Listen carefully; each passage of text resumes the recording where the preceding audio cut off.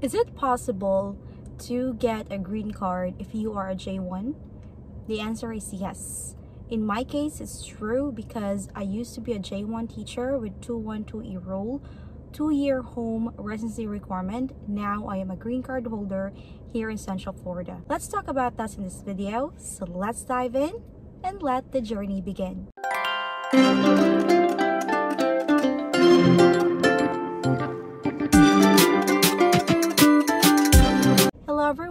My name is Emmary. Welcome to Powellful Couple Journey, where we talk about immigration processes, especially with J1 waiver, where I used to do it myself. It is based on the exceptional hardship waiver that I had through my US citizen spouse. So I was a J1 teacher way back in 2019 and I got my green card in the year 2023. It's a really long process, but of course, you really make sure that you know the step by step. And if you are compelled to do it yourself, you can do it. If the process that you are looking for is through an agency, you can do that or you can also do it yourself. Now, speaking of visa application, if you are looking for a very smooth flow of application for your family and be able to bring them here in the US like for tourism or for family-based application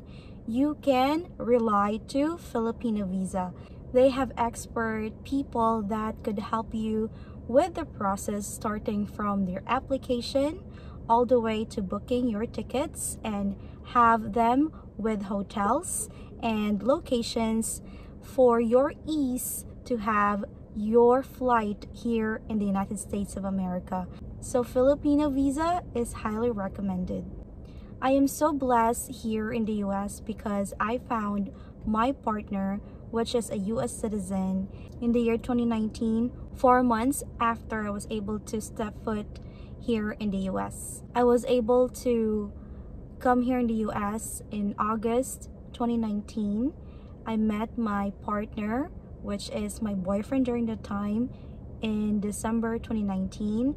We got engaged December 2020 after a year and we got married in April 2021. After that, it's already my almost third year as a J1 teacher, I submitted my application. It is not advisable to do it in your third year because you might not be able to extend your J1 visa through your visa sponsor. Based on my experience, I did process my papers where I am still on status with my J1 visa while transitioning from a J1 with 212E rule to getting my waiver and adjusting my status through filing my papers with the USCIS and the Department of State. It is a very long process, so you have to read the processing time, look at your own timeline, if it suits the best timing for you, if you are on your second year or if you are on your fourth year as a J1.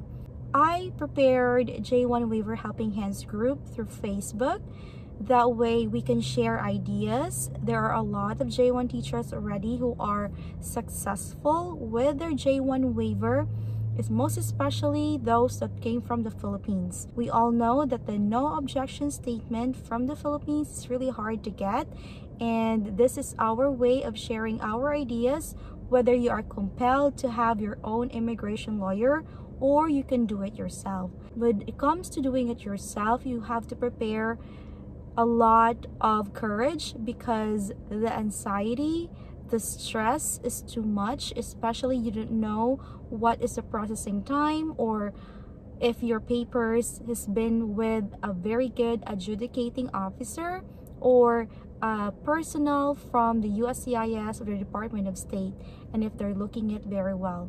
So making sure that you know the timeline and you have your evidences that is really a way to go. I prepare our website powellfulcouplejourney.com for all our evidences starting from the psychological evaluation, medical doctor's letter, We also have letters from friends and family that you would like to check as a template and especially the statement of reason. The statement of reason is important with your DS 3035 which is needed to be submitted through the Department of State and the Sworn statement is needed as well from your U.S. citizen spouse to be submitted. There are a lot of videos that I prepared here in Powellful Couple Journey YouTube channel. I hope you will like, subscribe, and share this information to J1 holders or J1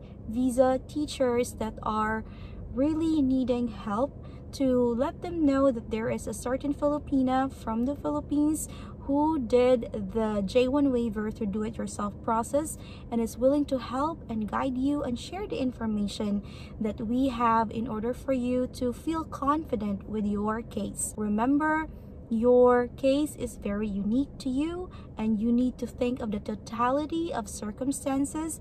That way, you know that you have a very strong case and you have a way to get your waiver. So for those that are having a lot of anxiety lately because they got their request for evidences, don't you worry.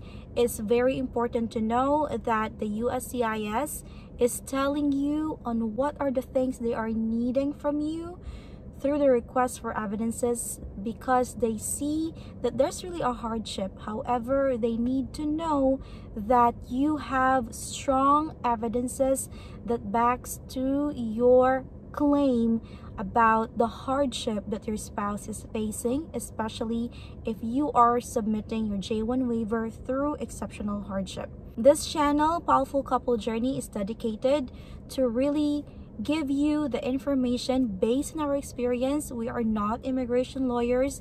This is just based on our true to life story and sharing to you our ideas that hopefully will bless you as well while sharing this to other people. For those that are looking for ways to bring their family here for tourism or for family based application, you can always rely to Filipino Visa because they have the way to give you an ease when it comes to the application from step one all the way to getting the plane tickets and booking your hotel stays. Thank you so much for being here with us. Don't forget to like, share, subscribe to this channel, and hopefully we could meet on our next video. Have a great day!